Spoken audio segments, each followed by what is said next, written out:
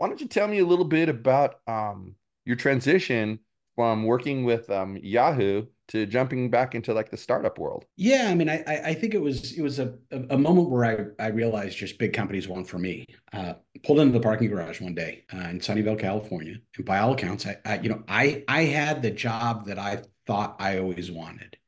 I was running business development for a, a, a, huge business unit, and I didn't like going to work every day. And it was nothing to do with the company. I mean, this is when Yahoo was doing well. By all accounts, I had a pretty cool job, and, and I learned a ton there. I mean, it's a great company. I still have a lot of great memories and people, but I realized that I'm somebody who likes to deal with a lot of white space and likes to deal with a lot of ambiguity and uncertainty. And there's probably a bit of a disease for for folks like me, which is having that risk of not knowing whether something's going to work or not. And uh, so so it was it was clear to me. I don't think I knew